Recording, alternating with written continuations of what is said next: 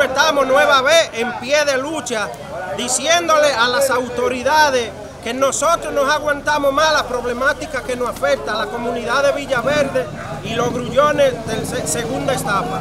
Nosotros estamos aquí en pie de lucha para decirle a las autoridades que nosotros ya estamos cansados de aguantar el mal olor y la problemática del dengue que nos está afectando bastante a los niños y a los adultos también.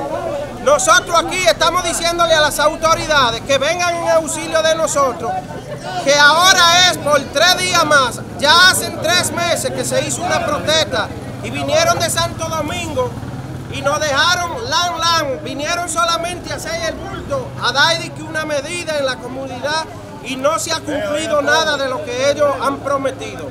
Entonces, por lo tanto, le decimos al gobernador, le decimos a las autoridades competentes que vengan en auxilio de nosotros, porque de lo contrario, en la próxima semana, si no hay un diálogo con nosotros, promesa no, sino hecho. Si no hay un diálogo con nosotros, será de manera extendida la protesta con más problemática de la que hay.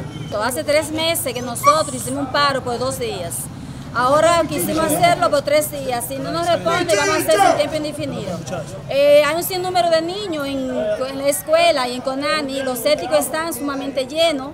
Usted sabe que el, dengue y la malaria está acabando. Entonces, esa agua negra lo que puede producir la malaria. Estamos apoyando la zona de Villaverde porque tienen varios años, varios años con la, con la cloaca tapada. Entonces, tenemos una escuela ahí bastante grande para tener toda la cloaca tapada. Entonces, la escuela de Conani, hay ciento y pico de niños, y para ellos desembocar en la, la F tienen que buscar un camión sin tena para que suba todo para arriba, para ellos seguir trabajando y seguir dando clases. Entonces queremos, queremos que el gobernador se dé vuelta por aquí, que se dé vuelta por aquí el gobernador, porque si no, tenemos gente que nos vengan a ayudarnos con estos rápidos, que han venido muchas veces a medir vienen, miran, miran por todos lados y todo. Si no vienen en estos tres días de huelga, vamos a tener la huelga para abajo, para la libertad, para todas partes vamos a coger. Porque esto lo o hacen algo.